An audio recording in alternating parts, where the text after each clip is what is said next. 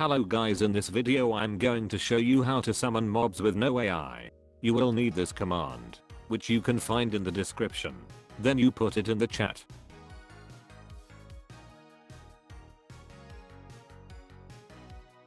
You can change the name to any mob you want.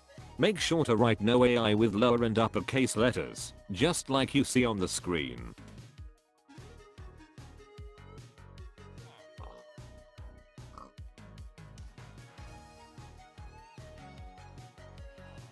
These mobs do not get affected by knockback. They don't fall too.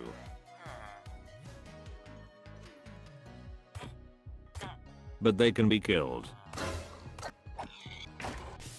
Please subscribe to my channel maybe leave a like or just watch more of my videos.